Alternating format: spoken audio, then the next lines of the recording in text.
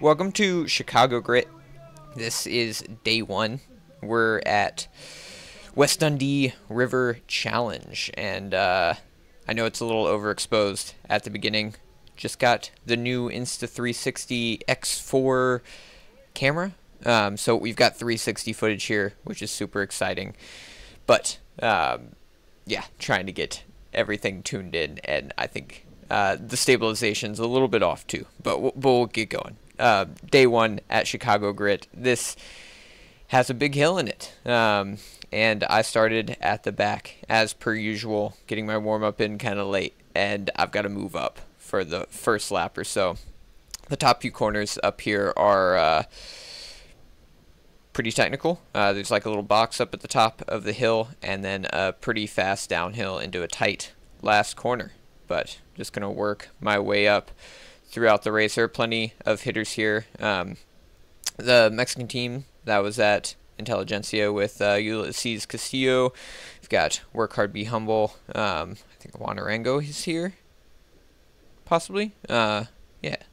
And um, yeah, plenty of other guys. VFR is here. ABC, Toronto Hustle, just Hustle. Uh, Rainstorm got on the left. Fergus Arthur, uh, Marcus Mendez, and I have finally gotten to the front. Um, so that means it's it's time for me to send a little attack. Get a little bit of a gap, but MitoQ, one of the biggest teams here, the probably the biggest team here, um, they were pretty quick to respond to anything that was not them attacking. So that'll be a pretty recurring theme.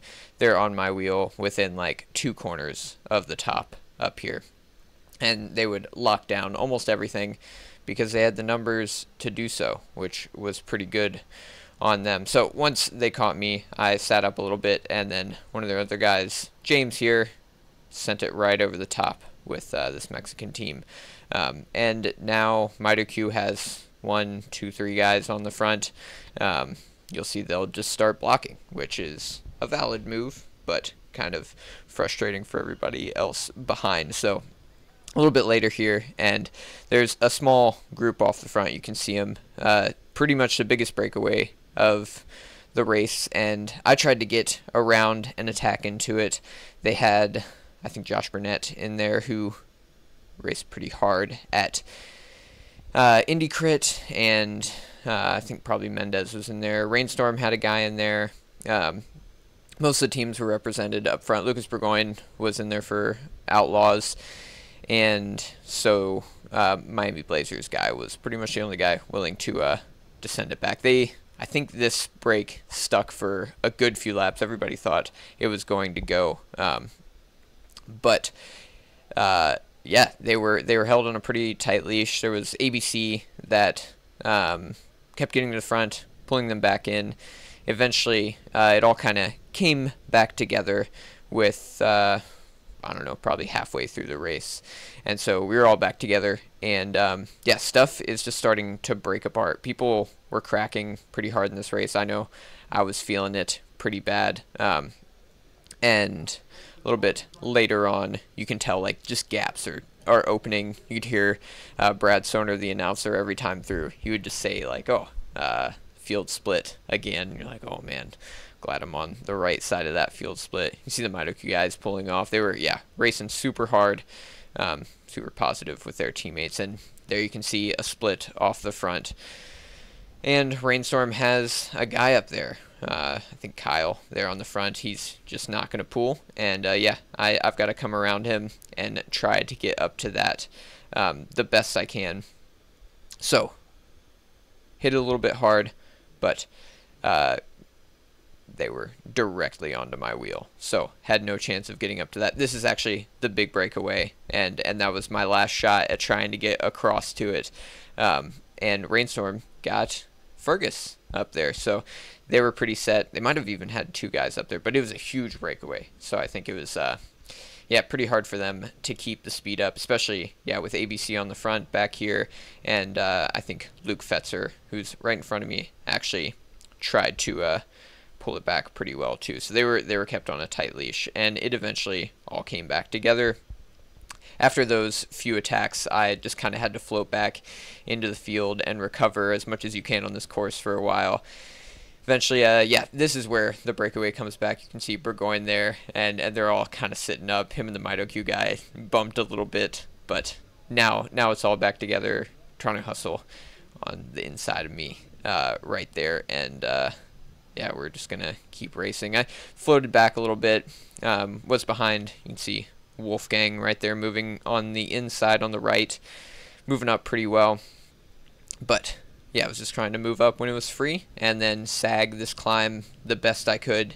This climb would really take it out of you if you tried to move up on it often. So was doing my best to uh, save as much energy relative to the field on it as I could. So late in the race here, and I wanted to stay up towards the front. These last like five laps, I was really trying to stay up towards the front.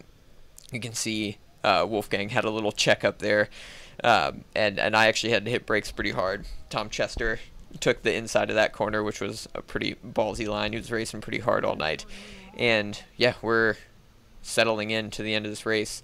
Josh Burnett got off the front. I think uh, James, his teammate, was up there with him as well and pulled really hard for a few laps. James is the New Zealand national champion, and uh, Marcos Mendez made it up there with him as well you can see James right in front of me, um, who had just gotten pulled back into the field. And so there was a group of two off the front, Marcos and uh, Josh Burnett, super strong guys, and they actually uh, would hold that to the end uh, for the sprint. Marcos Mendez taking the win on the first night, but for these last few, the field was getting really close. I think it was like a 10 second gap. So we thought we were gonna we thought we were gonna catch him. ABC was on the front pretty hard, trying to pull stuff back, and I'm just yeah chopping corners. Um, in the end, here trying to move up position the best I possibly can, um, and and kind of stay at the front. MitoQ had pretty strong presence at the front, and like somebody would pull on the front, and then MitoQ would just like pull through and and set like a false tempo uh, for their leader Josh to stay up on the front. He'll likely be a, a big contender for the rest of the race. Uh, like the rest of the 10 days. So we'll have to look out for him in uh, in moves. He, he seems to like to not wait for the sprint. I'm going to move up on the right here the best I can, or actually just defend my line. Um, it's downhill. You could either move up, or uh, sometimes we were just going way too fast to move up. Last few corners here, I believe. And yeah, ABC chopping the inside pretty well. I'm on I'm James wheel, and uh, the MitoQ guys all had to check up Chester on the outside. Little gap opened up, and I had to uh, pull it in um, for the last little finish here. Uh, Sam Morris right in front of me just sprinted up the hill at the end, and uh, yeah, didn't get past. I think I ended up getting 12th, and uh, yeah, Marcos Mendez with the win. Thanks for watching. See ya.